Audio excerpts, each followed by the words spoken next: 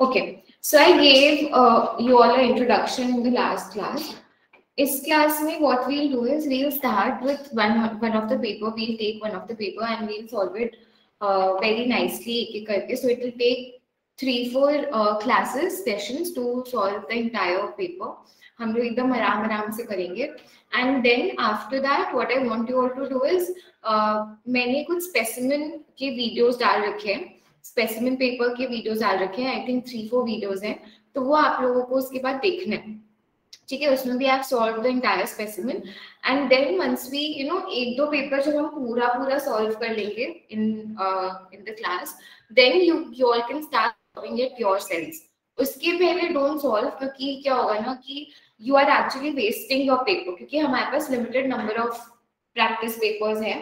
तो उनको हमें बहुत अच्छे से प्रैक्टिस करना है। But these papers are more than enough इसको छोड़ के अलग से nothing else we have to do in CP3 right so अभी के लिए जस्ट मे बी वीक में, जैसे मैंने लास्ट क्लास बताया था वीक में अगर आप तीन दिन थ्री डेज़ जस्ट निकाल रहे हो सीपी थ्री के लिए दो से तीन दिन इट्स इनफ राइट उससे ज़्यादा it's not required currently So let's start. I'll be starting with uh, September 2020 term. I've 2021 actually, September 2021 because next sorry September 2020 yeah September 2020 का हम solve करेंगे because उस term में हम uh, I have a solution जिसका clear हुआ था and I will also try to find out solution जिसका clear नहीं हुआ था so we can compare कहाँ पे we are lacking Today we'll be just going through the question, understanding the question scenario material जो हमें मिलते हैं वो देखेंगे।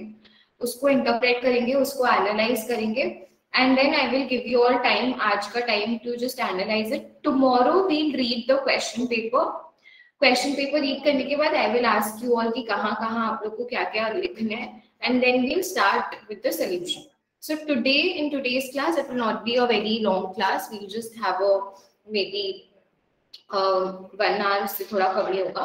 We'll read the scenario material only and we'll understand the entire scenario material okay so I will share my screen आप लोग को ये आईएफओए का पेपर मिल जाएगा। आईएफओए पास पेपर्स जो आप लोग लिखोगे तो आप लोग को पेंडे मिल जाएगा। So let us just go through the scenario material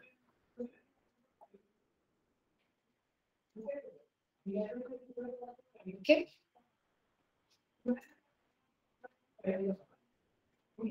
So uh, देखो तो सिनेरियो मटेरियल ऐसा आता है हमारे पास वी वी गेट सितंबर 2020 का एग्ज़ाम पेपर है ये। यहाँ पे इन लोग uh, अच्छा यहाँ नहीं they write it down in this is I think one second this is the scenario material ये मैंने एग्ज़ाम्पल को बोलता so this is the scenario material जो हमें मिलता है।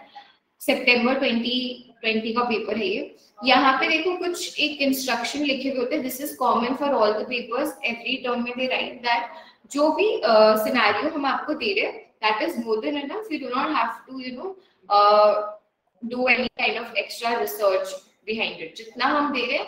और if you have any prior knowledge which is different from what we have given you don't have to apply that.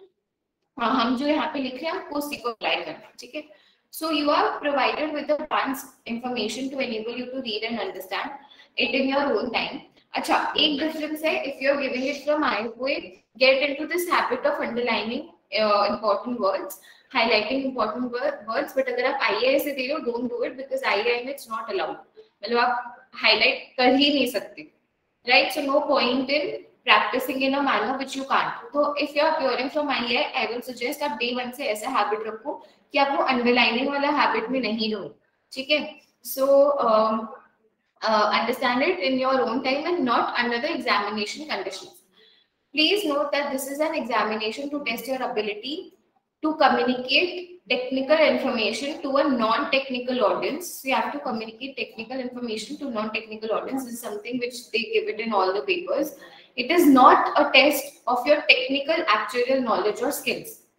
तो आपका कितना टेक्निकल नॉलेज है that is not the thing communication is what we are testing as such any technical actuarial information or techniques needed to answer the question is provided to you So any technical knowledge, any technical words, anything which is required, everything is provided, nothing extra is required. You do not need to spend time revising other subjects or researching further details on the topics covered in the paper. So you don't have to research, you don't have to study anything extra. जितना हमने दिए that is more than enough. That is what they give in all the scenario materials. So this is this uh, इस term का paper का मैं एक head start दे देती हूँ इसमें इस टर्म के पेपर में एक स्प्रेडशीट आया था जो रिसेंटली उस समय नहीं आ रहा था लाइक सितंबर 2020 के टर्म का जो ये पेपर है अप्रैल 20 का बात करें या लास्ट तीन चार टर्म्स में they never give a spreadsheet अलग से in along with the scenario material so this was maybe after five six terms which what they did कि उन्होंने एक अलग से स्प्रेडशीट दिया दैट आल्सो वो जो स्प्रेडशीट था उसमें इंफॉर्मेशन काफ़ी सारे थे। So actually many of the students got confuse उस समय कि हमें कैसे इसको इंटरप्रेट हम इतना सारा इन्फॉर्मेशन को कैसे कम्युनिकेट करेंगे? Like so this was a thing and ये जो सिनेरियो आप रीड करोगे एंड फिर आपके मन में ना कुछ कुछ अपने आप आते जाएँगे कि मे बी एग्ज़ाम क्योंकि आईएफओ में you get the scenario material three days prior three four days prior तो आपके मन में आते जाएगा अच्छा ये क्वेश्चन आ सकता है, ये क्वेश्चन आ सकता है, इस साइड से देखे. Which is a very common thing जो सबके दिमाग में आता है, हमारे दिमाग में ऐसा आता but when we, when the exam paper actually came, it is very different what, from what we thought. तो कभी ऐसा नहीं हो पाएगा कि आप एग्जैक्टली प्रिडिक्ट कर पाओ अपने एग्ज़ाम पेपर को। That is not at all possible जितना भी आप ट्राई करो सो यू जितने, उतने पॉसिबिलिटीज होते भी नहीं है तीन चार जो पॉसिबिलिटीज होते हैं, उसको मन में रख के you make small small notes तो what you can do is you can either create a word file और आप यहीं पे कमेंट बॉक्स ऐड करके लिख सकते हो। तो आपको जैसे कन्वीनियंट लगे। I use to make a word file generally most of the students make a word file जिसमें व्हाट दे डू इज़ जहाँ जहाँ उनको as and when you are reading the background जहाँ जहाँ आपको लग रहा है कि ये कुछ इंपॉर्टेंट है इसको मार्क कर देते तो उसको हम लोग वहाँ पे लिख लेते थे मार्क कर देते right this is what you do when you read the scenario material for the three days. Obviously, not going to read for the entire entire three days. जिस दिन आया उस दिन आपने फ़र्स्ट रीड किया फिर सेकंड रीड किया फिर थर्ड रीड में आपने नोट्स बनाया तो वैसे you then maybe five six times you read before the examination date. तो ये बैकग्राउंड है लेट अस रीड इट धीरे धीरे पढ़ते हैं आपको क्वेश्चंस है मन में just you can ask you can interact. Sales Machine PLC, a leading direct marketing organization in your country, has identified a new business opportunity using its established distribution channels. So established distribution channels who use karke we are entering into a new business to enter into an insurance market. This document contains some general information on the organization as well as some details on the new business opportunity. So there is this company, direct marketing organization. अब हम लोग को एक बार में may be नहीं समझ में what does this actually means तो हम जाके गूगल करेंगे which you don't have to do. कभी भी ऐसे एक बार रीड में कोई भी वर्ड को जाके गूगल मत करना because if you are googling it other people are also doing the same kind similarities होने का स्कोप है प्लस दे हैव सेड कि आपको कोई और रिसर्च नहीं करना है। तो maybe they have explain this word later on और इवन इफ़ नॉट उतना ज़रूरत नहीं मे बी ठीक है तो दोनों में बस आप स्टार्टिंग में कुछ भी गूगल मत करो अगर आपको नहीं समझ पाए सो so, यहाँ पे जस्ट ये दिस इज़ एन ऑर्गेनाइजेशन जो एक नया बिज़नेस अपॉर्चुनिटी में एंटर करना चाहते हैं। And uh, there are distribution established distribution जो उसके हैं उनको यूज़ करके वो enter करना चाहते हैं। There are specific sections in the document which we are given with internal strategy memo product specification हमें दिया हुआ है sales PLC machine PLCs marketing committee document तो ये तीन information हमें इस scenario material में given है a business case spreadsheet तो ये spreadsheet जो हमें मिला हुआ है this is the spreadsheet which we actually got this is the spreadsheet जो हमें मिला था in the examination. So they are saying that this is a business case spreadsheet has also been provided, which includes assumptions and financial projections for the proposal set out in the scenario material. So projection and assumptions हमें spreadsheet में अलग से given. Direct marketing organizations build a network. तो देखो it's explained what direct marketing organization means. It builds हाँ रुचिता बोलो. Ma'am आप screen share करोगे क्या ओ मैंने screen O sorry sorry many i thought i'm sharing my screen screen sorry sorry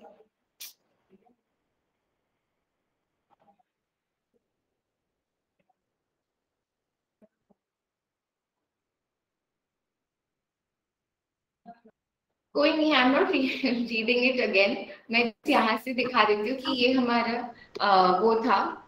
I completely forgot मैंने बस वो क्लिक नहीं किया फाइनल ओके okay पे। Just मैंने क्वेश्चन पेपर डाउनलोड कर लिया था तो मैंने मैं फॉलो कर रही थी उस टाइम नहीं नहीं बट हाँ अच्छा वो बता दिया बिकॉज़ मैंने रियलाइज़ ही नहीं किया आई एम नॉट शेयरिंग तो यही चीज़ हो जाती है ना दो लैपटॉप पे हम लोग करते हैं तो ठीक है। चलो so anyways this was the instruction which was given जो मैं पढ़ रही थी उस समय कि आपको कुछ अलग से रिसर्च नहीं करना spend you don't have to time spend your time revising your past papers और ऐसा कुछ आपको नहीं करना। And this was the background which I started reading so direct marketing organisation है। उसका नेम है sales machine PLC which is a very good leading marketing organization in our country. And that particular organization is trying to enter insurance market through its established distribution channels. तो मैंने खाली इतना पूछा था कि जो डायरेक्ट मार्केटिंग ऑर्गेनाइजेशन ये जो वर्ड है तो क्या है इस वर्ड के बारे में आपको पता है? If you know it's well and good if you don't know then you don't have to do search देखो, कुछ कुछ obviously you can definitely search on Google but don't do it in your first read that is what I'm saying second third read में अगर एकदम भी नहीं समझ में then you do that so direct marketing organisation build and this was a spreadsheet जो I was talking about जो इन्होंने दिया है हमें. So it's a very actually it's a very big spreadsheet if you see CP three के terms में काफ़ी बड़ा है. Okay so direct marketing organisation build a network of potential customers So it builds a network of potential customers through various means, such as buying data from other organizations. So basically, they're trying to build a lot of data. They will use these data to produce tailored marketing campaigns, tailored marketing campaigns for specific products aimed at groups of customers who they believe have a higher chance of purchasing those products. So basically what they do is they maintain an entire database of the different customers and जो भी product होते हैं so they make a tailored make uh, made marketing करते हैं suppose they are targeting someone like us so they keep in mind the age group and everything and they are pretty sure that we will end up buying the product तो वो हमें ही directly target करते हैं specifically Uh, हमारे लिए वो अपने advertising को मार्केटिंग कैंपेन को टेलर मेड करते हैं। They change the marketing campaigns depending upon the customer clear है ये चीज़, ठीक है? So that is what is written next internal strategy memo हम लोग को दिया हुआ है। So this is an email क्योंकि जहाँ पे भी आपको ऐसे फ्रॉम टू मिले दैट्स ऑब्वियसली योर ईमेल तो ये ईमेल किसने लिखा है? R Olivier who is the CEO of the company कौन सा कंपनी सेल्स मशीन जो हम पढ़ रहे हैं किसको भेज रहे हैं वो to all the staff members of the sales machine date 2nd april subject is new insurance opportunity so basically he's trying to discuss about the new opportunity which the company is entering into good day everyone firstly i would like to thank each and every one of you for your incredible start to the year Sales were up by 15% for the first quarter compared to quarter one last year. 2020 का with compared to 20, uh, 2019 का 15% higher था. We and we are well on track to achieve our best financial year in our organization's history. Okay, uh, well done each of you. I would also like to use this opportunity to communicate a very exciting new opportunity for sales machine, which I believe will be critical in continuing our growth trajectory over the next five years. So he is saying that whatever this opportunity is, uh, if we if we take up this opportunity for the next five years, हमारा खाली growth ही मुझे दिख रहा है. A press release was published today, but I wanted to personally update all of you. As of last night, Sales Machine has entered into a joint venture agreement with ABC Insurance. So a new company जिसके साथ sales machine ने joint venture किया है where we will create and sell a range of simple but relevant insurance products. So basically, simple yet relevant. One second.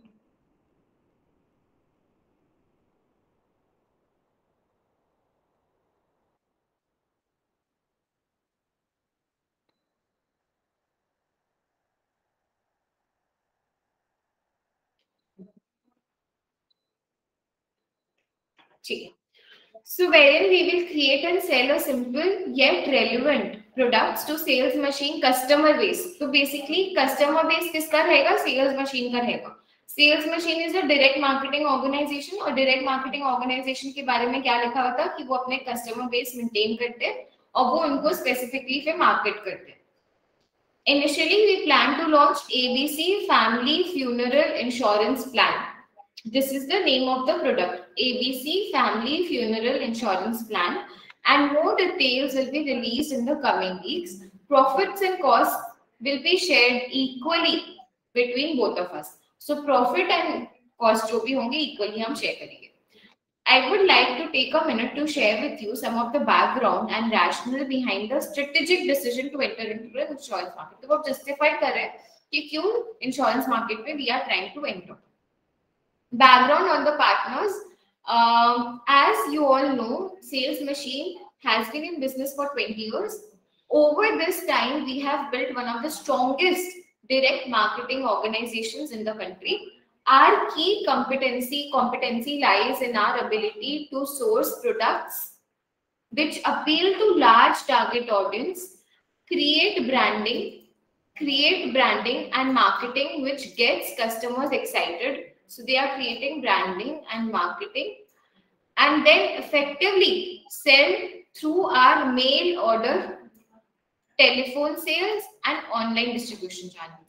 So basically what they do is they uh, cater to products जिनका काफी large market base होता है and उनको वो कैसे sell करते हैं email marketing के थ्रू टेलीफोनिक मार्केटिंग के through and online distribution channel जितने भी हैं so these are the ways of the marketing and sell we have invested heavily in technology people and infrastructure over the last 5 years and we are now well positioned to expand our business. So over the last five years only, we are trying to, you know, expand through technology, people and everything. In looking for an insurance partner, we have selected ABC. Now he's justifying कि हमने ABC insurance क्यों select किया, as it shares our passion and ambition for growth. It has been around 90 years in the business and has a deep understanding of all the aspects of insurance product development. So this is now justifying कि हम क्यों ABC में जा रहे हैं 90 years हो गया इस कंपनी को so it company has a very deep understanding of the products also at the same time the ambition and the goals are same we have chosen insurance market for three primary reasons अब वो justify करें कि क्यों हमने insurance market select किया the very first is our customer research has shown a strong demand in the ma mass market for simple insurance offerings. Simple insurance offerings so basically unke research team ne kya kya dekha simple insurance offerings especially for customer age 20 to 40 existing insurance providers have not been successfully uh, successful in meeting customers demand and are focused on selling complex offerings through financial advisors it is therefore critical that both our products and sales be quick, simple and straightforward.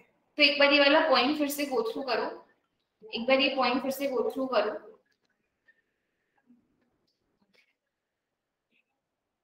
again it's very important from the हर एक ये छोटे छोटे information because you see it's total six pages का हमारा scenario है जिसमें से फ़र्स्ट पेज वो था इंट्रोडक्शन जैसा कुछ to five pages. Five pages का scenario is a very short scenario which they have given. Generally, seven pages का रहता है scenario.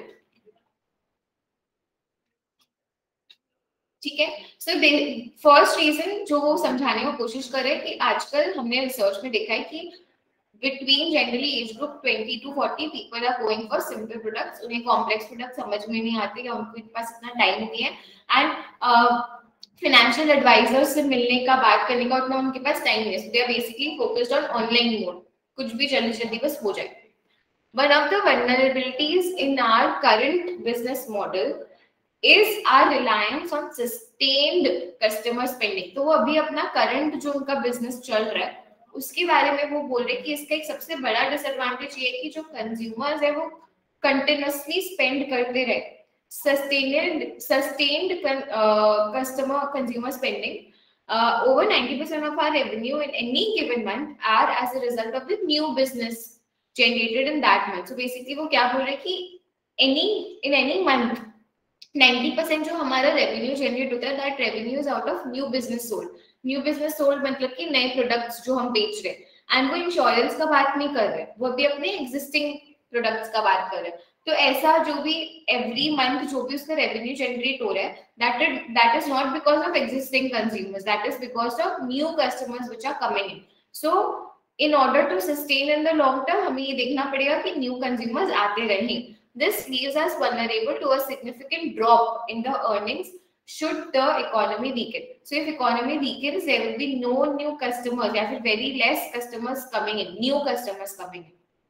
This is not the case in insurance where a policy sold today will produce premium income for many months premium income तो monthly आते रहेंगे ना तो वो कोई न्यू कंज्यूमर से नहीं आ रहे वो ओल्ड कंज्यूमर से ही आ रहे and even years to come and research indicates that customers tend to continue to pay premiums even if the economy is not doing well so even if the economy is not doing well the policy holder will have to pay the premium Right? Otherwise, the, the policy will collapse. This will help to mitigate, mitigate the risk in earnings volatility, which is important to a shareholder. तो again एक दूसरा इसमें reason दिया पहला reason हमारा ये था कि सबको सिंपल प्रोडक्ट्स चाहिए सेकंड रीजन है कि करंट बिज़नेस मॉडल जो है उनका वो ज़्यादा डिपेंडेंट है economy The management at Sales Machine are eager to diversify our product range. अच्छा अब अगर आप लोग जब रीड करो ना this is actually the first paper which we are solving for CP3 तो जब ऐसे वर्ड्स आएँगे, जैसे डाइवर्सिफाई आ गया, या फिर यहाँ पे एक वर्ड था कि सस्टेन कंज्यूमर स्पेंडिंग वल्नरेबिलिटीज तो जब ऐसा कुछ आता है so the very first thing which will come to you later on is इसको हम कैसे समझाएँगे? To a normal person to a layman person diversify आप कैसे समझाओगे to a very layman person जिसको उतना आइडिया नहीं अबाउट फाइनेंस और एनीथिंग तो आप उसको कैसे समझाओगे? How will you try to explain diversification तो ये सारी चीज़ें दिमाग में आनी चाहिए। And this is what we make notes of in the when we read the scenario material so अभी will not obviously make the notes अभी विल जस्ट डिस्कस द जो भी है important points you all will have to, when you will solve the paper, final paper you will have to make the notes for our 45% of the revenue in the last quarter came from our top two two top selling products products के नाम दिए हुए the AB Monster 3000 fitness equipment and the Wonder Paint. We need to continue, uh, continuously find new products which will suit our distribution and not wait for the demand on our existing products to diminish. तो we should not wait कि कब हमारा जो इतना cell हो रहा है कि वो कब डिमिनिश होने लग जाए। हमें अभी से ही वर्क अपॉन करना है ऑन प्रोडक्ट्स जो आगे जाके बहुत ज़्यादा सेल हो जिसका।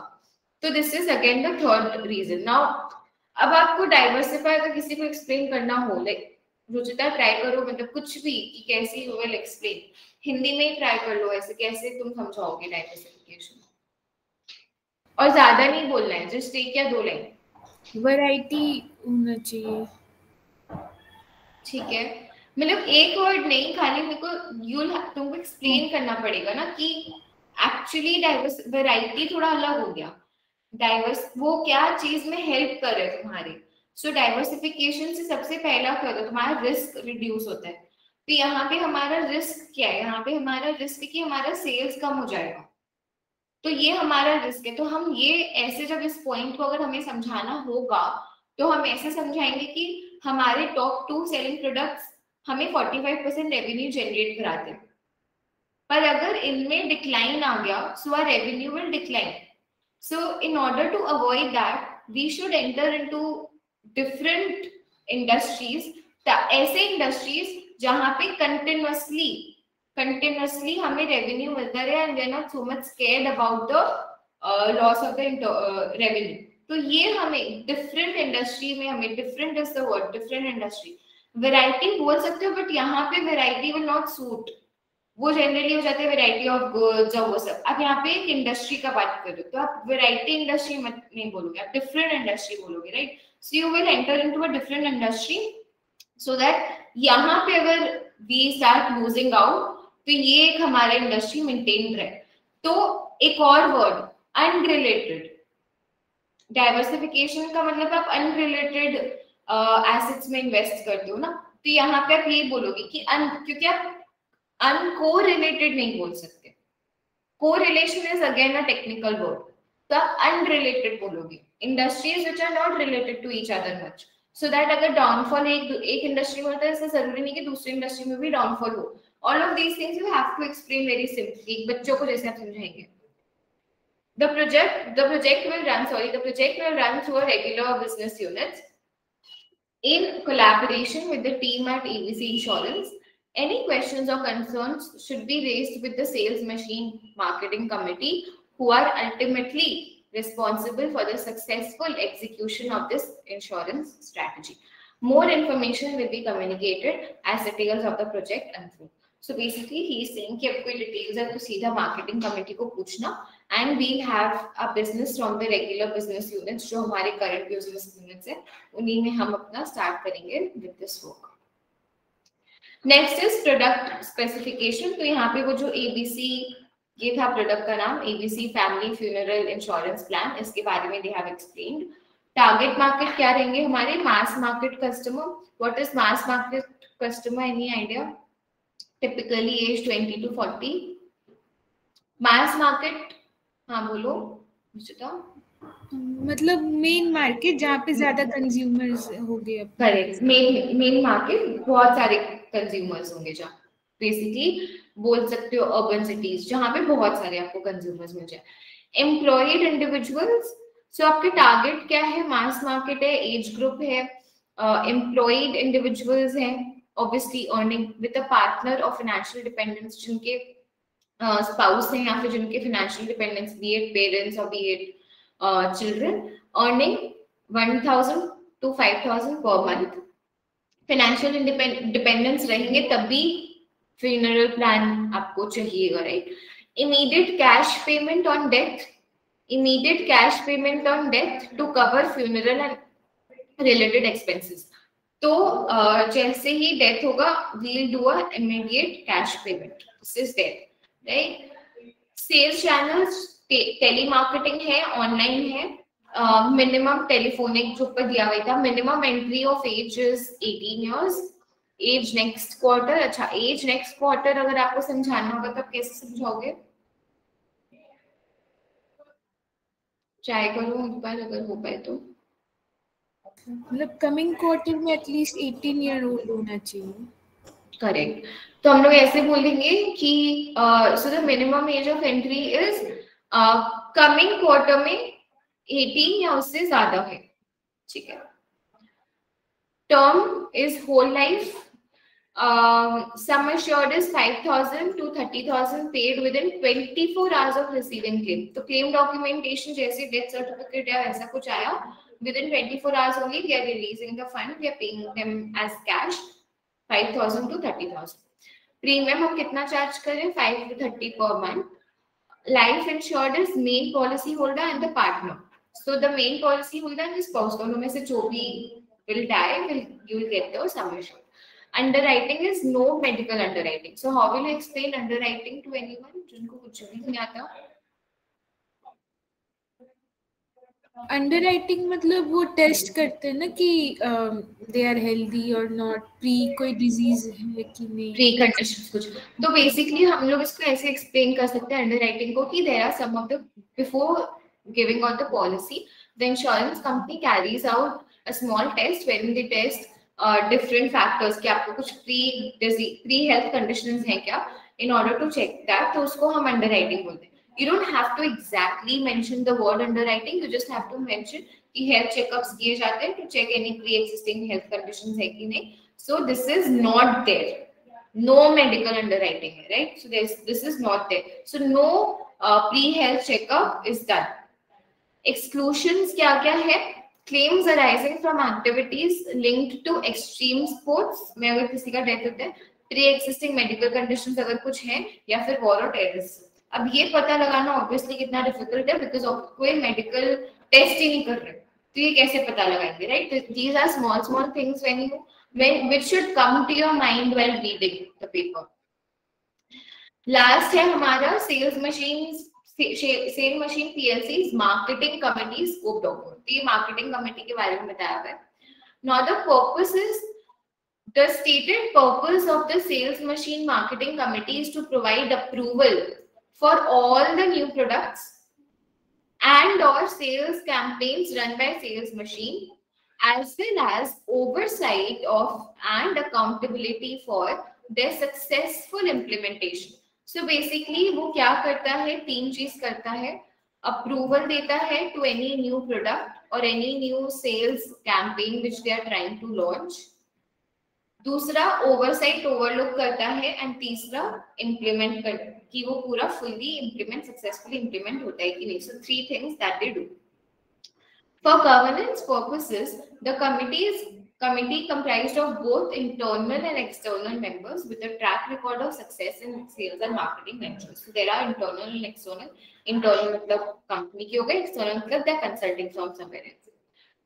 Key performance indicators KPI KPIs the sales machine marketing committee measures their success in terms of monthly sales volume, revenue, and profit margin तो ये कैसे मेजर करते हैं अपना सक्सेस मंथली सेल वॉल्यूम कितना हो रहा है इनका मंथली रेवेन्यू कितना जनरेट कर रहे हैं एंड मंथली कितना इनका प्रॉफिट मार्जिन है remuneration and bonuses of the committee members is linked directly to the quarterly before profit tax. So quarterly उनका जो and taxation uh, sorry bonuses है वो कैसे मिलता है उनको quarterly profit before tax obviously ज़्यादा होगा तो ज़्यादा मिलेगा।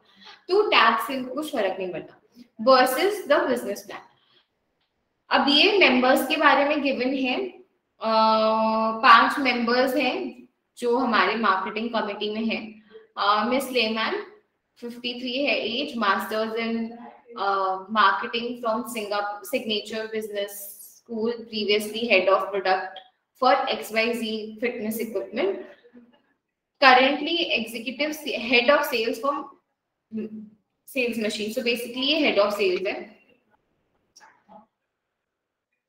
Uh, Miss Sachs PhD है 37 की है uh, from this university executive head of analytics and business intelligence head of analytics and business intelligence Miss Mr. Chase masters in operation management previously logistics manager for Delta Tires and Company, currently executive head of operations and campaigns. Mr. Stanley, MBA from Traditional School Europe, ऐसे इन्होंने बस नाम से बना लिया कुछ भी non executive है ये head of brands of fancy perfume industries है अभी currently again mister Suze MBA है from elegant school Asia non-executive, co-founder of and CEO of Deluxe Leather uh, Goods International. So this is basic information of five people which is given. Uh, जो कि important anyways भी नहीं लग रहा उतना देख के.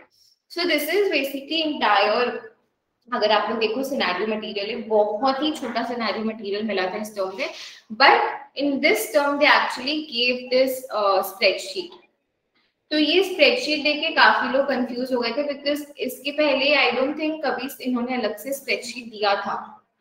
दिया भी होगा तो फाइव सिक्स टर्म्स के पहले, जैसे 2019 में भी नहीं था 20 के अप्रैल में भी नहीं था आई थिंक 18 में भी नहीं था चार पाँच टर्म्स पहले तक इन्होंने कभी भी स्प्रेडशीट नहीं दिया था।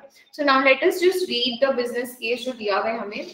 This business case is based on initial campaign selling the ABC funeral insurance plan to existing network, which is 4.5 million potential customers via telemarketing. तो ये क्या बोल रहे हैं? यहाँ पे जो इन्होंने बिज़नेस प्लान दिया है बिज़नेस केस दिया है दिस इज़ एक प्रोजेक्शन किया है इन्होंने, ये this is what they are expecting to happen forecast कर रहे हैं ये ट्रू नहीं है मतलब ये एक्चुअल डेटा नहीं है, ये ऑब्वियसली फोरकास्टेड डेटा है, जहाँ पे लोग बोल रहे हैं कि they are targeting to sell this ABC funeral to the existing network existing network क्या हो गया? जैसे हमने पढ़ा था, जो डायरेक्ट मार्केटिंग कंपनी ये जो है, ये अपने डेटाबेस मेंटेन करते हैं तो उन 4.5 मिलियन लोगों को वो टारगेट करें।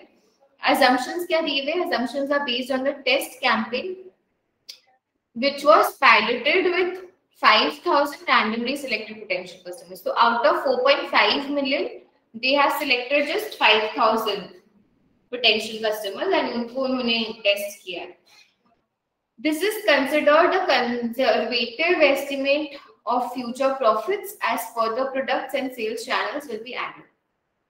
तो यहाँ पे it is a very conservative approach क्योंकि उन्होंने खाली 5000 पे किया है। सॉरी दूसरा खाली टेली मार्केटिंग की है टेली मार्केटिंग के मेरे को कैसे पता चले यहाँ पे रिटर्न ना बाय टेली मार्केटिंग बाद में दे आर सेइंग कि हम और सेल्स चैनल्स निकालेंगे बट अभी के लिए हमने खाली टेली मार्केटिंग किया so it's a very conservative approach conservative को कैसे समझाओगी, Ruchita?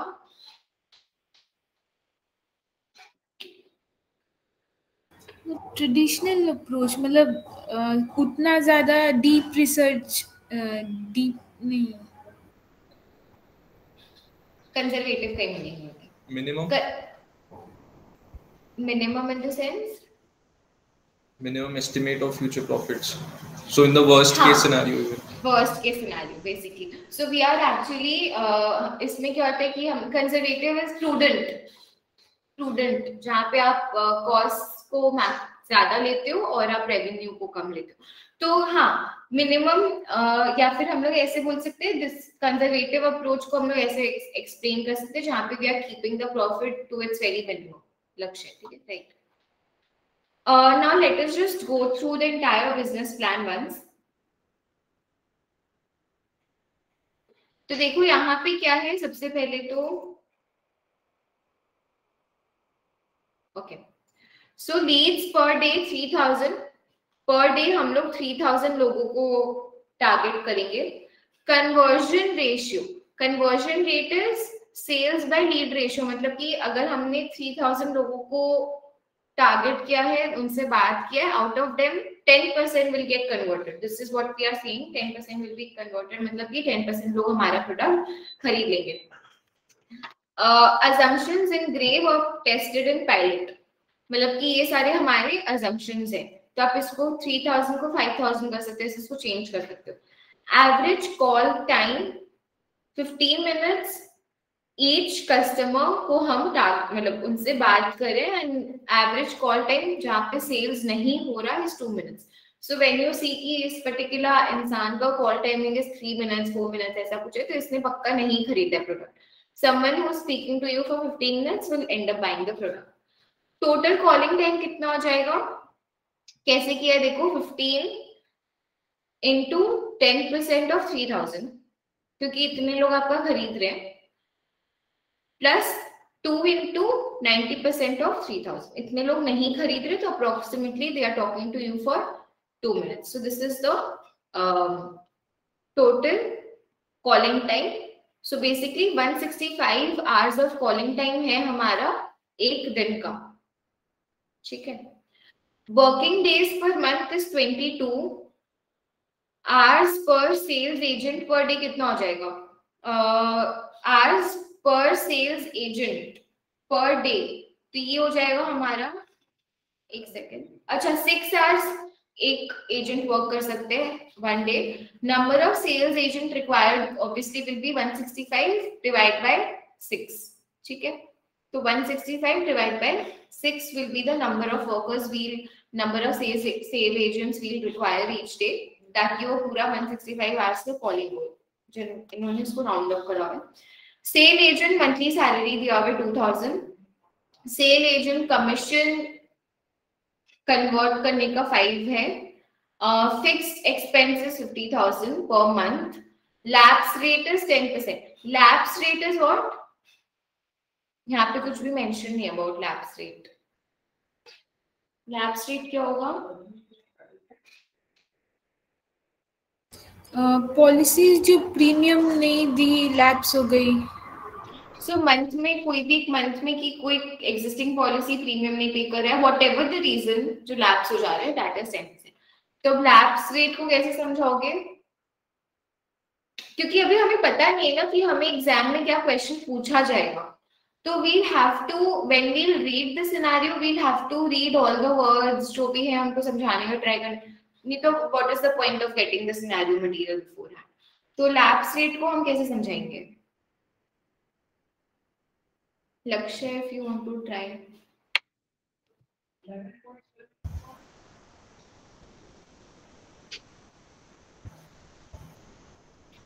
Rate at which the existing uh, policies end.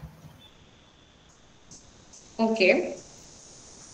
Rate at which existing policies. मेरा कैमरा ऑफ़ हो गया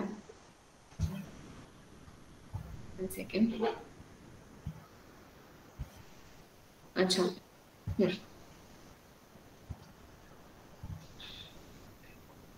Rate at which existing policies क्या बोला था End. एंड हाँ ठीक है um, है। which are not active uh, मतलब कि अनएक्टिव हो जा रही है पर मंथ ठीक है। इनएक्टिव मत बोलो। इनएक्टिव थोड़ा फिर फिर ये समझ कि एक्टिव इनएक्टिव क्या होता है? वो कंफ्यूजन हो जाएगा। हाँ तो अ, ऐसे ये सही लग रहा है लक्ष्य वाला थोड़ा बहुत सही लग रहा है कि every month the number of policies या फिर the proportion of policies which and which do not pay the premium right ठीक है। Then claim ratio, claims by premium ratio is 70%. Again, आप इसको कैसे समझाओगे?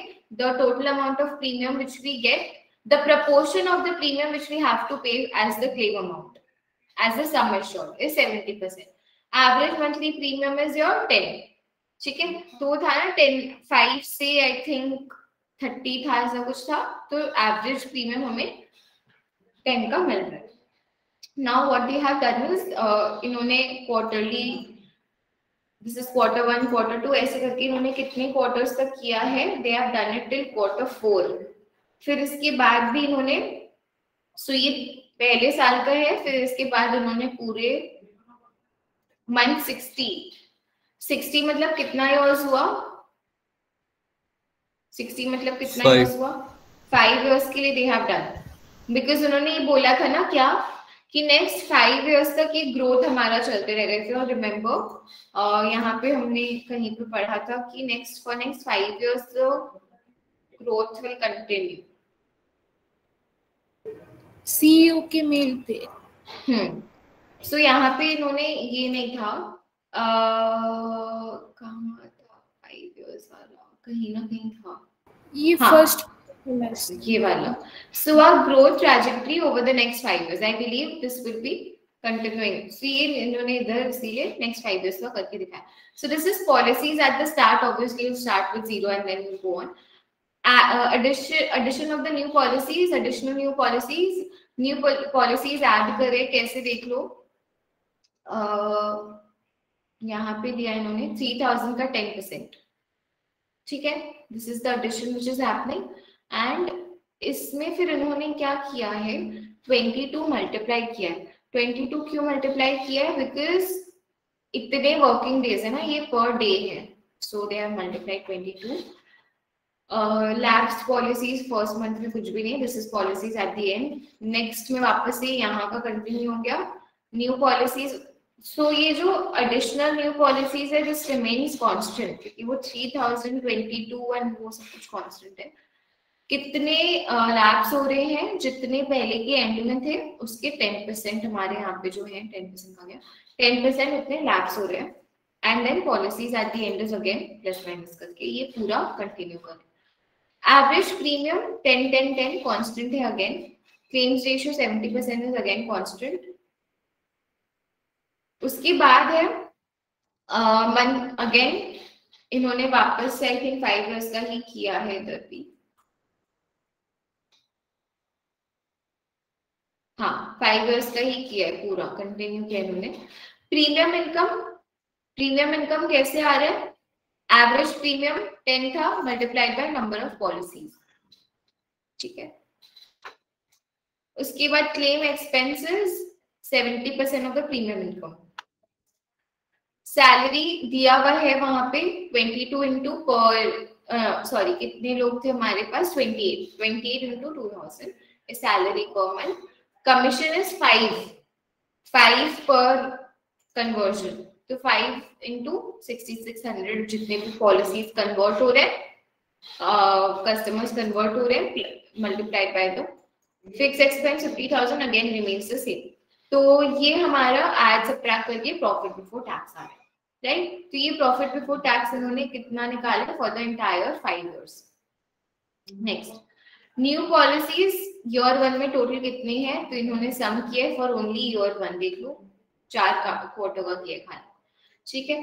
तो ये न्यू पॉलिसीज़ हैं जो ईच ईयर आ रहे हैं। पॉलिसीज़ एट द एंड इन्होंने अगेन यहाँ से लिया है देख लो, ये ईयर वन का एंड है ना तो यहाँ से लिया है इधर से। फिर सेकेंड ईयर के एंड पे ये वाला है। Month twenty four sixty seven three five sixty seven three five तो ऐसे करके इन्होंने पॉलिसीज़ लिया है टोटल फिर इन्होंने किया है कि कितना आ रहा है है so basically after five years this is the new policies total new policies which we are getting for the entire five years and after five years कितने हमारे पॉलिसी होल्डर्स रहेंगे so, सोचो over the five years new policies ही क्या था इन्होंने ना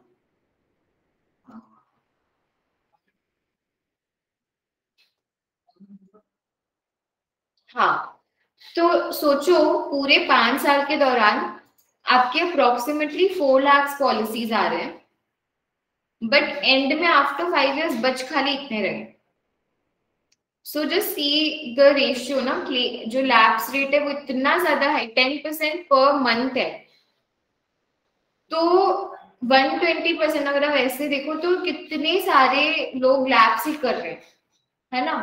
तो वैसे इसके अगर approximately इतने लोग joined over the last five years, but we only left with 65 800 तो यहाँ पे वही किया इन्होंने, वही सेम कैलकुलेशन प्रीमियम इनकम का सम लिया है for the first year premium income income का सम है सॉरी क्लेम एक्सपेंसेस हैं सैलरीज हैं फिक्स्ड एक्सपेंसेस हैं and then profit before tax तो ये इन्होंने फिर टोटल करा सब।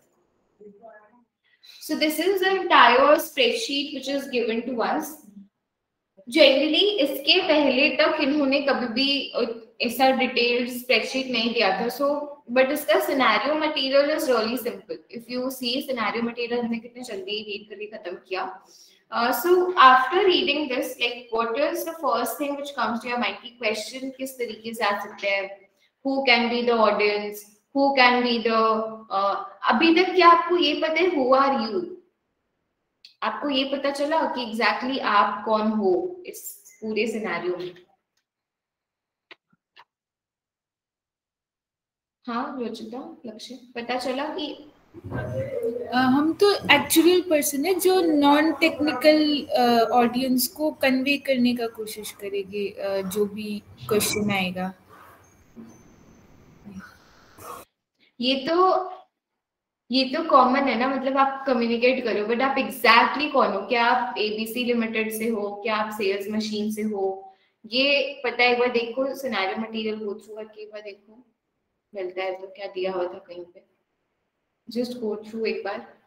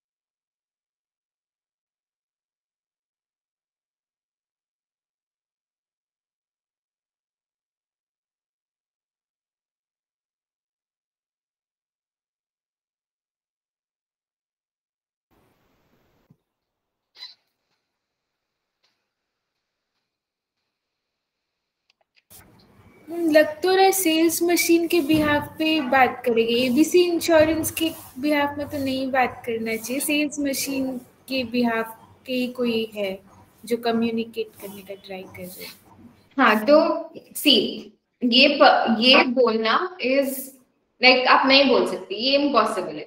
बिकॉज़ क्वेश्चन कुछ भी आ सकता है। एंड क्वेश्चन पेपर में क्या होता है ना क्वेश्चन पेपर में अगेन दो पेज का एक इंट्रोडक्शन या फिर आप बोल सकते हो बिल्डअप रहता है। ये जैसे ये पूरा सिनेरियो था। अब इसके आगे का थोड़ा बिल्डअप रहेगा इन द एग्ज़ाम पेपर दो पेज का तीन पेज का। And then they will give you the question so in the exam paper only you will realise कि आप कौन हो। So this happened in this term कि सबको यही लग रहा था कि हम सेल्स मशीन के साइड से तो उन्होंने पूरा एक एस्पेक्ट सोचा था। बट एक्चुअली इट केम उल्टा। It came from the point of view of ABC So, this no one expected in this paper. Obviously, no one will expect कि आप एबीसी के क्योंकि सारा इंफॉर्मेशन सेल्स मशीन का है, सब कुछ उस पॉइंट से। तो इन्होंने बस दो पेज का एक बिल्डअप डाला और उसके बाद इन्होंने वैसा question so it's very difficult तो इसीलिए क्या करना, क्या चाहिए हमेशा सिनेरियो मटेरियल जब आपको मिले। अभी जैसे हमने फ़र्स्ट रीड किया took us approximately I think 40 minutes आपको इतना ही आपको इंग्लिश नहीं रीड करना आपको समझ समझ के पढ़ना so it take you 40 minutes 35 minutes जब आप उसको फ़र्स्ट रीड करते हो। उस समय आपको अलग से नोट्स नहीं बनाना मन में सोच सोच के करो। जब आप सेकंड टाइम रीड करोगे वापस से then you make the notes okay then you make the notes हमने इसको जैसे डिस्कस किया वेल एंड गुड अब यहाँ पे स्प्रेडशीट पे अगर हम आए तो स्प्रेडशीट में क्या आ सकता है? इतना सारा डेटा है। अगर आप पहले से कोई चार्ट्स बना के रखने का कोशिश भी करो, आप सोचो भी, तब क्या बनाओगे? What should you make like आप सोच सकते हो कि हाँ हम पॉलिसीज़ एट द स्टार्ट का एक बना लेते हैं column chart so will you make it for 60 data points 60 months का है? No no. जैसे मैंने बताया था, इतना हम क्लमजी नहीं करते CP3 में भी keep the charts very small simple limited amount of data हम डालते हैं. अगर टेबल भी बनाने को आते हैं तो जस्ट तीन चार तीन रोज मैक्सिमम तीन कॉलम्स मैक्सिमम थ्री थ्री उससे ज़्यादा नहीं। उससे ज़्यादा अगर रख रहे हैं तो सोच के रखना पड़ेगा कि हम सही कर रहे हैं कि नहीं। Because your marks will be deducted for over complicated chart and over complicated tables at the end of the day you explaining it to someone इनको इतना आइडिया नहीं। So how will that person understand such complicated chart तो या तो आप starting का लो, या तो एंड के फाइव मंथ्स का ले लो। या तो क्वार्टरली ले लो एवरी क्वार्टर का, जिससे यहाँ एवरी ईयर का सॉरी तो you are doing it five years का सो यू टेक ईयरली जिसे आपने न्यू पॉलिसीज़ कर लिया एवरी ईयर का एंड ये कर लिया। तो यहाँ पे how will you explain Ruchita that policies at the end is ये तो सेम अमाउंट से इंक्रीज हो रहा है बट ये सेम अमाउंट से क्यों नहीं इंक्रीज हो रहा इफ़ मतलब if this question comes to your mind that new policies जो आ रहे हैं एवरी ईयर वो सेम आ रहे हैं सेवेंटी नाइन थाउज़ेंड बट जो policies at the end of the year increase हो रहे हैं ना, ये अमाउंट तो सेम अमाउंट से क्यों नहीं इंक्रीज हो रहा? How will you explain this to a layman यहाँ पे जो इंक्रीज है इज़ ऑलमोस्ट वेरी क्लोज देखो, यहाँ से 47 से सीधा 60 गया. 60 से 64 64 से सीधा 65 खाली 65 थोड़ा थोड़ा इंक्रीज है. ऐसा क्यों? व्हाई इज़ दिस हैपनिंग कर सकते हो एक्सप्लेन सोचो।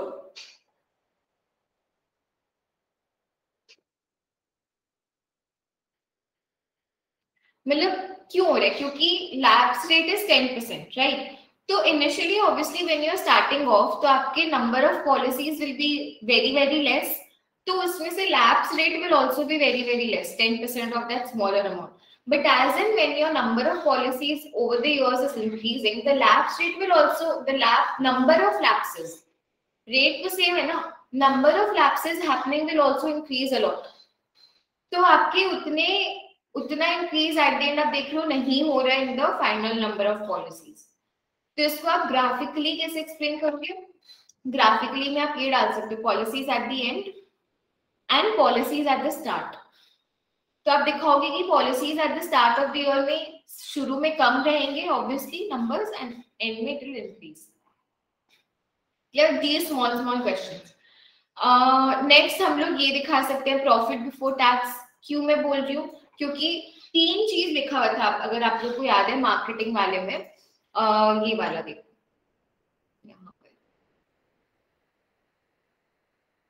उनको प्रॉफिट बिफोर टैक्स से मतलब है रेवेन्यू और उनका बोनसेस किससे रिलेटेड होता है? प्रॉफिट बिफोर टैक्स से रिलेटेड होता है। तो उनको इससे काफ़ी ज़्यादा मतलब है। सेकेंडली उनको monthly sales volume revenue profit margin इन सबसे मतलब है। तो हम पीबीटी प्लॉट कर सकते हैं ईयरली पीबीटी फाइव इयर्स का। वॉल्यूम हमारा क्या हो जाता है? ये हो जाता है न्यू वॉल्यूम बिज़नेस रेवेन्यू हमारा प्रीमियम इनकम हो गया। सो ऑल ऑफ़ दीज तो इसका बार चार्ट बना के रख सकते हो। ठीक है, इसका कॉलम चार्ट बना के, जैसे अगर आपको इसका बनाना हो पीबीटी का तो you can just make an but still never it will happen मतलब बहुत रेयरली होता होगा कि आप जो बना के रख रहे हो, वही आपको काम आ रहा है आई हैव नॉट सीन कि कभी बहुत बहुत different like rarely it happens आप कभी प्रिडिक्ट नहीं कर पाओगे कि कैसा आपका क्वेश्चन है Till you make some graphs and keep it always. तो मैं एक दिखा देती हूँ, obviously, आप लोगों को. So this we can do यहाँ पे. Right प्रॉफिट इसको अब आप क्या करोगे? PBT में लिखोगे, आपको पूरा लिखना है. Yearly profit before tax. फिर यहाँ पे आप अच्छा उनका क्वार्टरली बिफोर टैक्स था प्रॉफिट बिफोर टैक्स था। हमने ईयरली किया। सो so अगेन एक और पॉसिबिलिटी है कि आप फ़र्स्ट ईयर के चार क्वार्टर को देख रहे हो। या लास्ट ईयर के चार क्वार्टर को, क्योंकि आप उससे ज़्यादा डेटा एक ग्राफ में नहीं ऐड करोगे। मैक्स टू मैक्स टेन क्योंकि यहाँ पे इतने सारे तो मैक्स टू मैक्स टेन या ट्वेल्व एक साल पूरा मंथली डेटा प्लॉट कर दिया या जो उससे ज़्यादा नहीं। आप इसको लेबल कर देना फिर।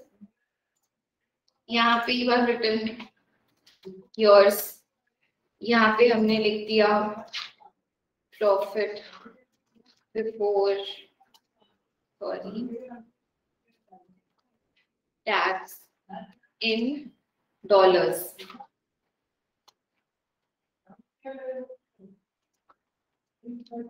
ठीक है? तो ऐसे करके आप शो द प्रॉफिट थोड़ा इफ़ यू वांट टू